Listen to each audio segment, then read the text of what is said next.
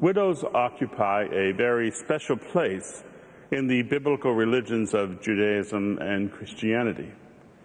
In ancient Judaism, the widow was to be cared for and protected by her husband's family as well as by her own. Since it was difficult for her to earn a livelihood in the ancient society, farmers were to leave crops for the widows at the edges of their fields and vineyards. There was a very real sense in which they lived off the fringes of the economy. But perhaps the widow of today's lesson is the most well known of all, even though not much is really known about her. We know her not just from an extended bibliography or biography, but from an extraordinary act that caught Jesus' eye and subsequently the eyes of the world. By the gift of her two small copper coins, this widow has become a mighty witness of faith, giving to the church a powerful example and issuing a challenge. In the temple, there was a room where 13 offering receptacles were placed. Each receptacle had a trumpet-shaped opening into which people cast their offering. The trumpet shape amplified the sound of the offering that you placed into it. The different receptacles were used to support different aspects of temple life. Jesus was seated in this room, observing what people were contributing. The generous gifts of the rich people made a big clashing sound as they were cast into these trumpets. It was amazing that Jesus even heard the widow drop her two small copper coins into the treasury. But he does and she gave the largest gift because she gave all she had. Even the money for her next meal. The well-to-do, they gave out of their abundance, out of what they had left over after spending huge amounts on themselves. But this poor widow gave all she had. Now, I am sure Jesus' disciples were astonished at his observation. We can almost hear them saying what we are thinking. How can this poor widow's contribution help anyone? You cannot pay the insurance bills with the widow's coins, or the gas bill, or the electric bill. Try paying for a highly competent staff to run an effective professional ministry with pennies from widows. Both temple and church need dollars, big dollars, from the well-to-do. The mites from widows can't possibly help us. But dedication and commitment, like this poor widow in our gospel, does. And that is what Jesus is looking for from the well-to-do people. He wants to see how committed they are to his cause in the world. He is looking for people who believe in what the church stands for and who want it to continue. People who are willing to commit even a portion of the 100% that was given by that poor widow. This widow is mighty, not because of the size of her gift, but because of the size of her commitment. She has seen through the tinsel and trinkets of materialism. She has stared death in the face, and having grappled firsthand with loneliness and forsakenness, she sees the emptiness of life based on money alone. She was like a widow that I know who said to me, I have a house in the city, a house in the country, two cars and a boat, but I have nothing. We all struggle to cut through the materialistic hype of our time and to try to do the right thing. The right thing is true religion and the true relationships with true religion promotes. What we need today are people, wealthy and poor, who will give generously to the work of the church.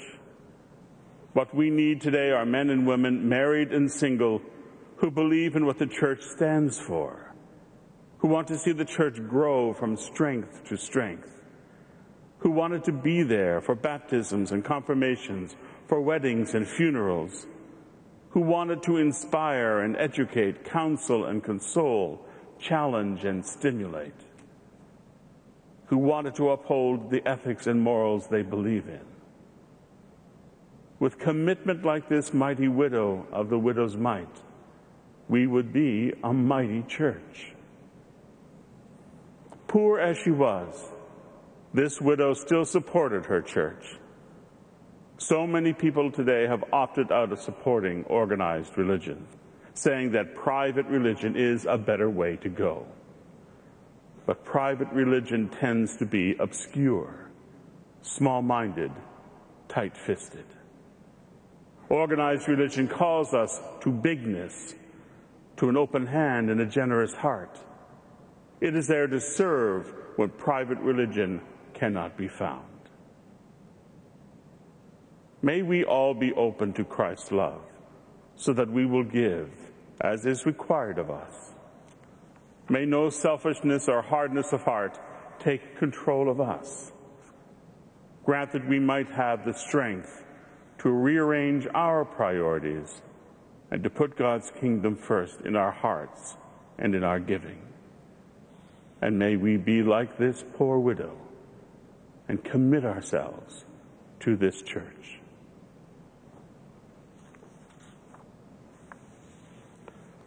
Let us now join our prayers together and ask God to help us to be more open in our giving so that it reflects the many blessings we have received. We give in support of our church. May it continue to witness to the presence of Christ in this world and inspire courage and faith in God's people. We pray to the Lord. Lord we give to all those who are instruments of peace and hope in the world, especially those men and women in our armed forces. We pray to the Lord. Lord we give back to God in gratitude for his gifts of grace poured out on all men and women of faith. May we use God's gifts to help others. We pray to the Lord.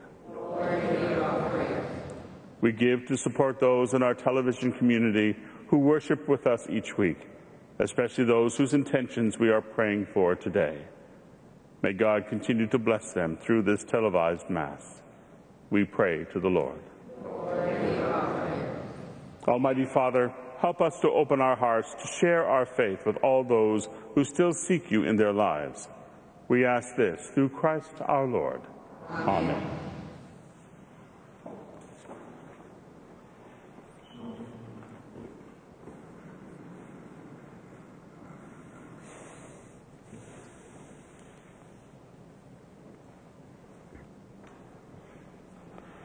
Blessed are you, Lord God of all creation. Through your goodness we have this bread to offer, which earth has given and human hands have made. It will become the bread of life. Blessed be God forever.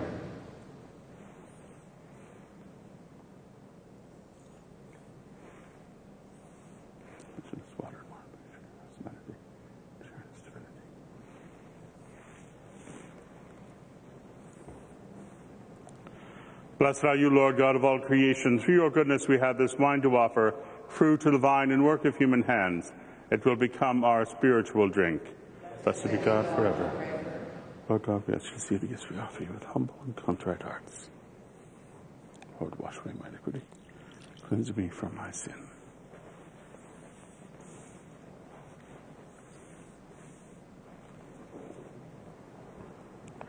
Pray, my brothers and sisters, that our sacrifice may be acceptable to God, the Almighty Father.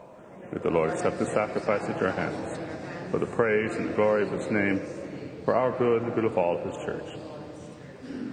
Lord, bless our offerings and make them holy.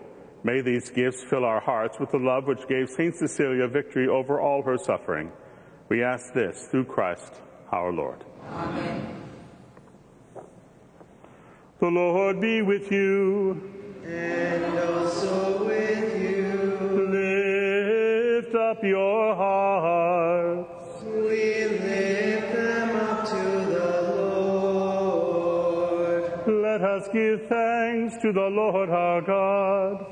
It is right to give him thanks and all powerful and ever living God, we do well always and everywhere to give you thanks. You have no need of our praise Yet our desire to thank you is itself your gift. Our prayer thanksgiving adds nothing to your greatness, but makes us grow in your grace through Jesus Christ our Lord. Glory and honor are his, as heaven and earth angels and archangels cry out in unending praise.